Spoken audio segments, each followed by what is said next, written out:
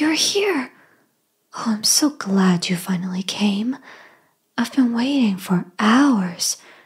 I was starting to count the tiles on the ceiling just to stay sane. I mean, that isn't really your fault, though. You got here right on time. I just thought, you know, let me come here for a few hours early to make sure I don't miss you. Better safe than sorry, right? I wouldn't want to miss the best day of my life after all. Honestly, I'm just so glad that you even came at all. I was worried maybe you were going to miss what I put in your pants. You know, the letter that I left in your pocket.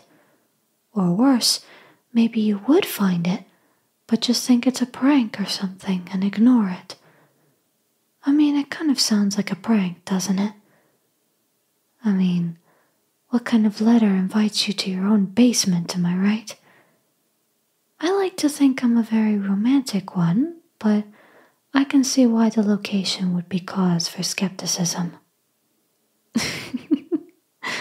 why am I here?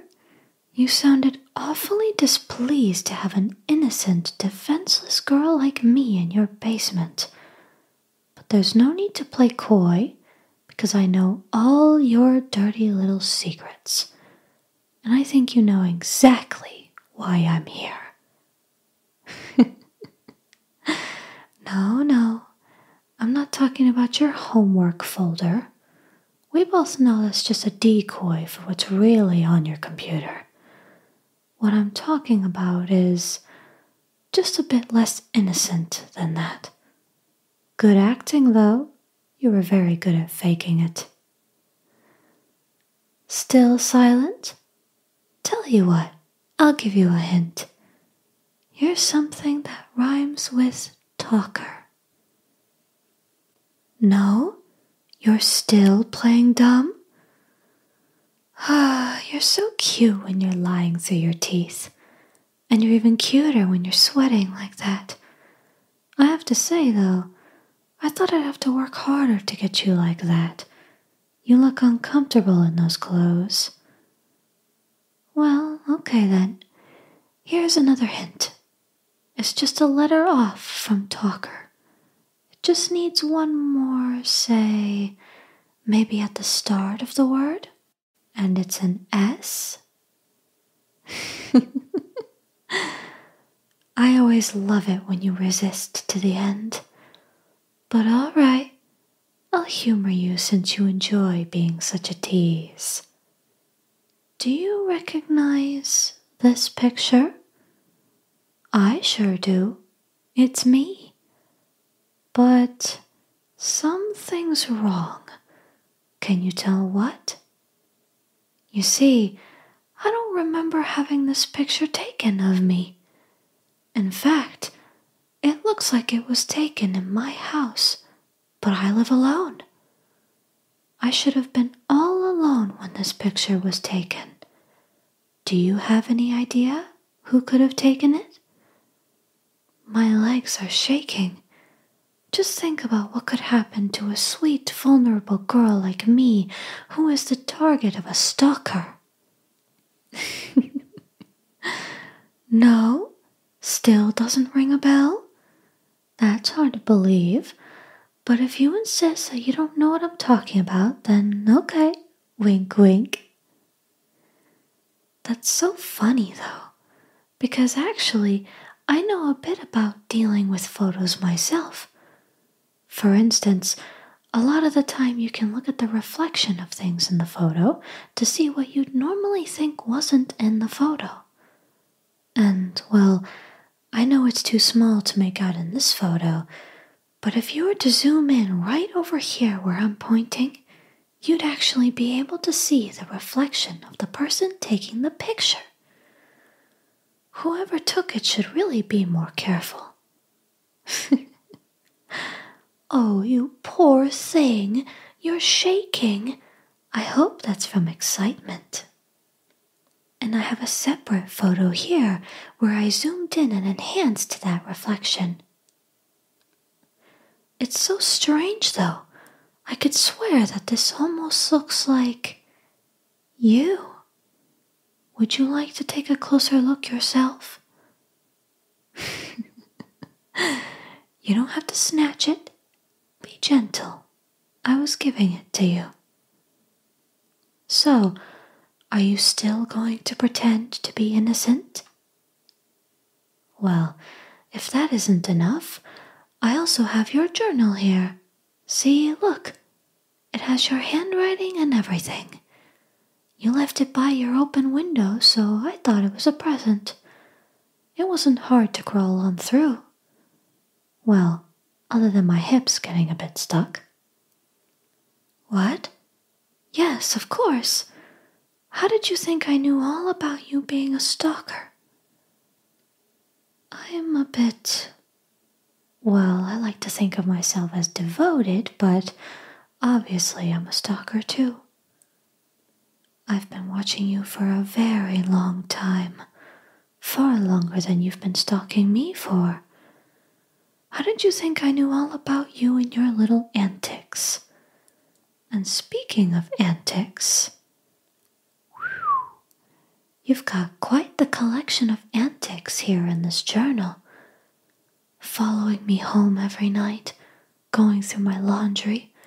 Why, you even collected the candy wrappers that I threw away. And I thought I would be the one handling junk in this relationship. Here, I'll read it for you. I think I'll skip the excessively lewd parts, though. that doesn't leave much to read. Not that I blame you. Hold on, sorry. It's just taking a lot longer to find a somewhat modest part than I thought. Oh.